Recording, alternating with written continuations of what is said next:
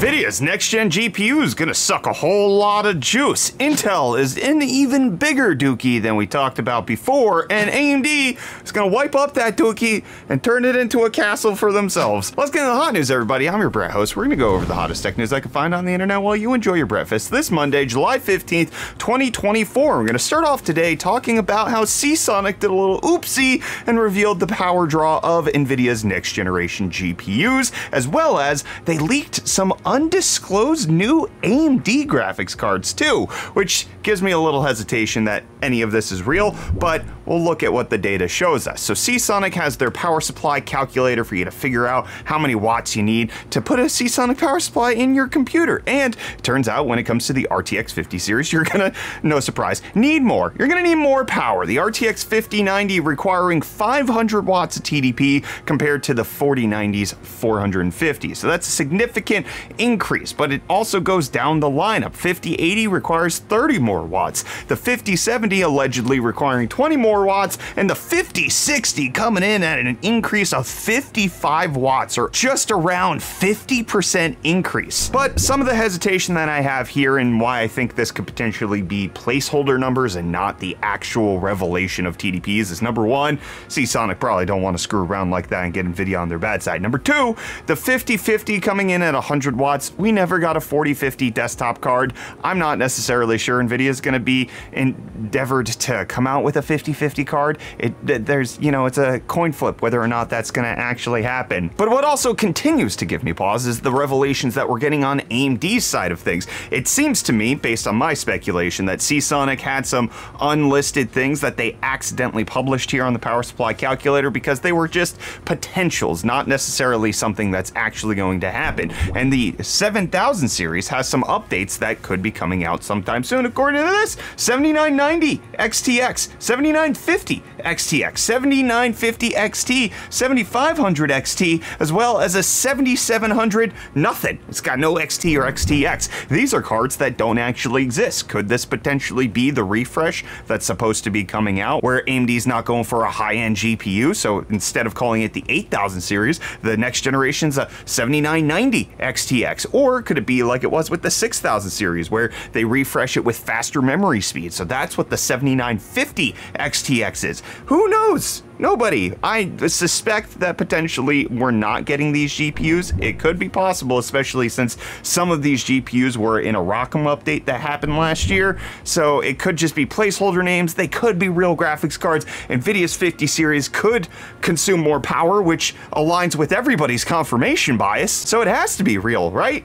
I don't, I don't know. It's intriguing. We'll keep you updated as we get more details on this moving forward. But I'm gonna update you on today's video sponsor. Today's video is sponsored by FlexiSpot and their E6 standing desk. Here in the office, we have the E6 in the 55 inch bamboo top with the black frame, and man, does this desk look good. The desktop itself is one solid piece, constructed of solid bamboo boards, and the three-leg frame system has been upgraded to increase the load-bearing capacity. With these enhancements, the E6 can support up to 325 pounds at over 20,000 movements.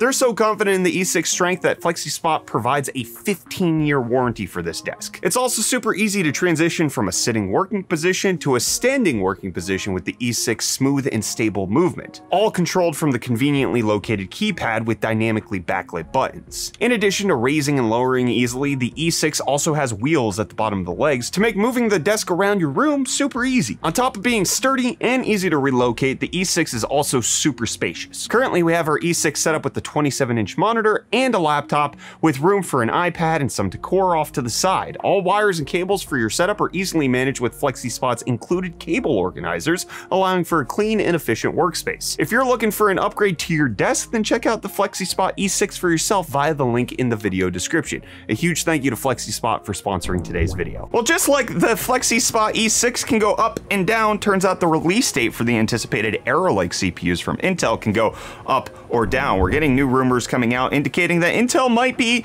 inclined to release these CPUs sooner Who knows why? We'll talk about that in a second. Arrow Lake getting some details that the qualification samples are going to be moved from the end of September, early October, all the way up to be late August, early September, just a few weeks improvement to make sure that they can actually hit the market sometime in October for the full release. This is coming after a lot of rumors that have been thrown around in the last week that Arrow Lake might be delayed until December when people were like, oh man, that sucks. Oh, Intel's not going to be able to compete. But according to a lot more leakers, it does seem like the trajectory for October makes a lot more sense for Intel. And I, I can guarantee on the inside, they want this CPU generation to come out. They want Arrow Lake to hit the streets because the news on the 13900K and 14900K debacle is getting worse by the day. We're getting new game devs coming out and saying, hey, uh, Intel CPUs, they're 100% of our failure rate. This is bad. This is really bad. And uh, AMD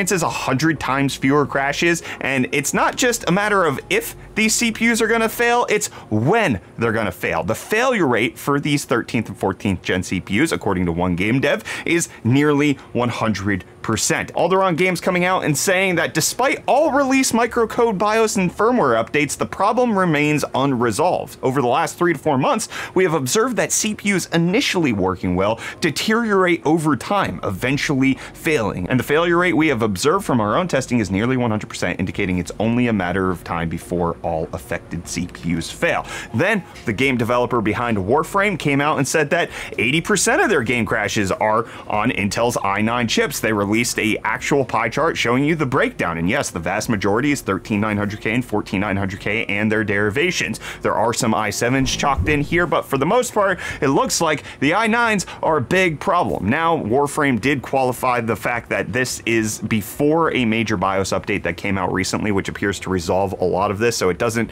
necessarily align that this is going to be unresolved for them, but it does line up with what Wendell said in his video from Level 1 Techs that it appears like 50% of Intel CPUs can be fixed with a BIOS. 50%, you gotta chuck them in the trash. You need to get an RMA. Intel's gotta give you a replacement because they appear to be problematic. On top of the fact that game devs are experiencing higher repair costs because the companies that come out to service these servers are finding out that Intel is actually going to fail at a much higher rate, so they have to charge more because there's too much work to be done in these situations, and it's costing game developers a lot of money. It's costing gamers a lot of time, and it's going to culminate into being a much bigger problem, which we'll talk about why it's going to be an even bigger problem for them, especially with some of the new 9950X benchmarks that have come out after Reese throws you some deals. It's Prime Week. You got to watch him. He's going to tell you about all the Prime Week deals, and if you don't watch him, he's going to cry.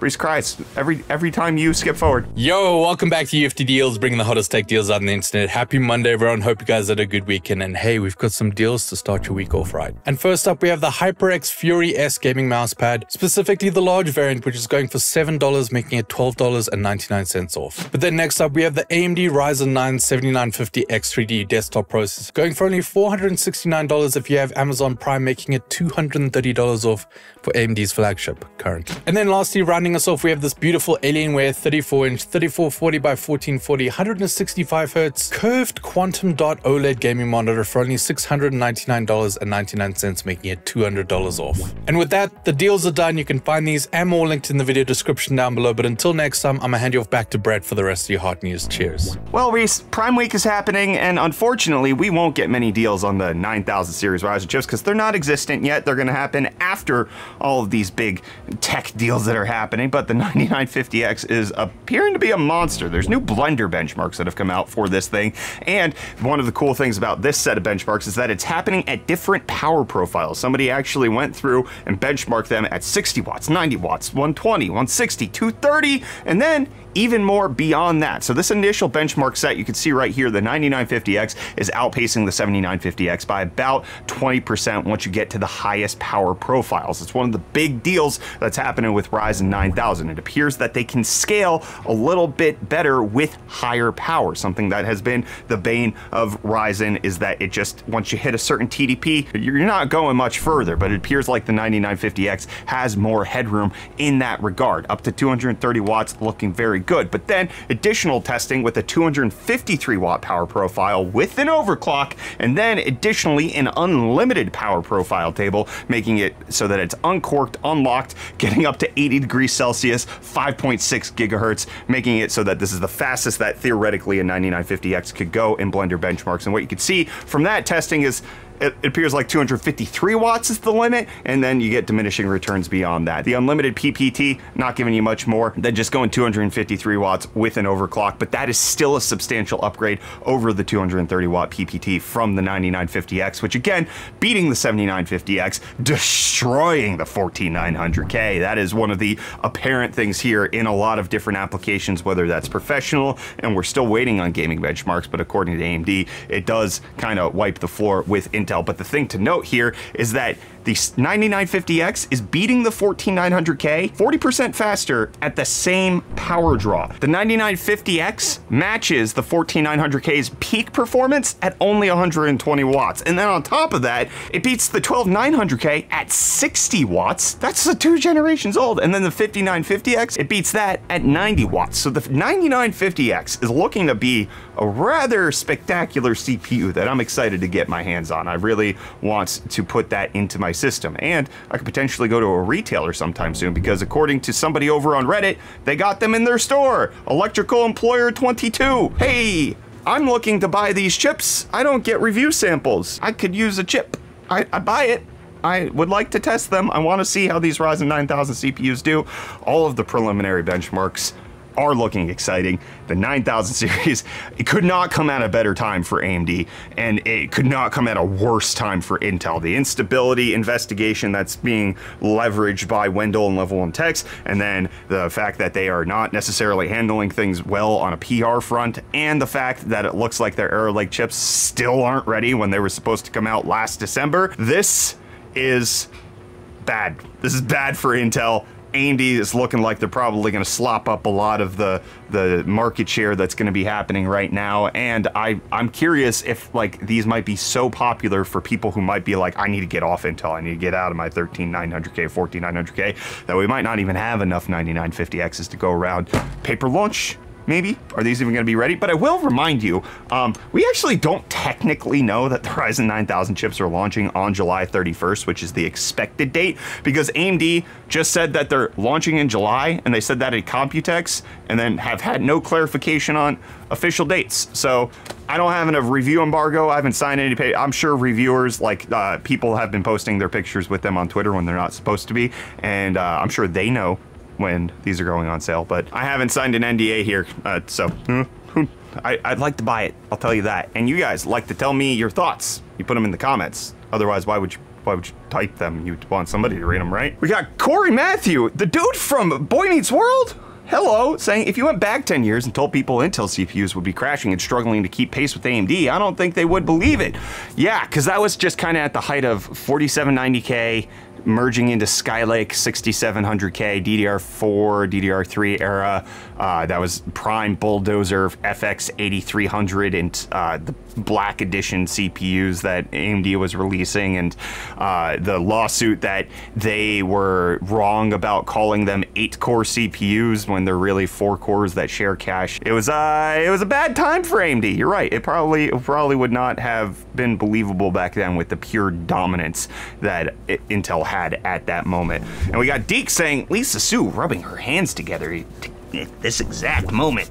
I've been waiting for Intel's downfall like that. We got Jason saying, imagine if you're an indie game dev and suddenly out of the blue, your engine randomly crashes or there are inexplicable performance issues cropping up exclusively on a select number of developer or testing machines, but not on others in identical scenarios with identical code. That's what happened to some clients of mine. They called me in to help diagnose the issues with their programmers. Turns out there was neither an issue with the code nor the toolchain.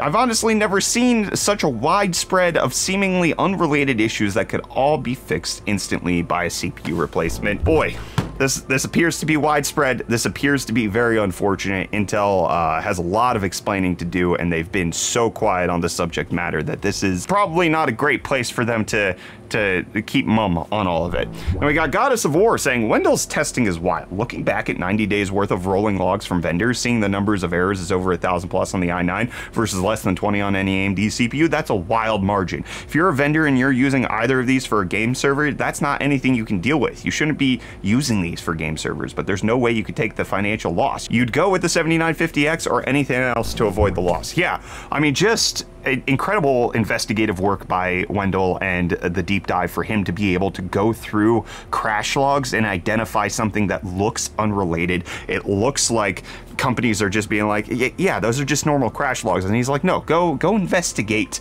I, I promise you there's something there. There's something about Intel CPUs that are causing these to happen. And by George, he was right. And that's just uh, a fantastic person, Wendell. I've met him several times at, at Computex and various different events. He is uh, world class, um, and I I'm glad that he's on it. And it he I think he broke the lid open on this, and it's I don't I don't think we're at the end of it, especially as game devs start to report their side of the story on how Intel potentially is not good for them. And then we got a rouse lamp saying, "Not the Nevada."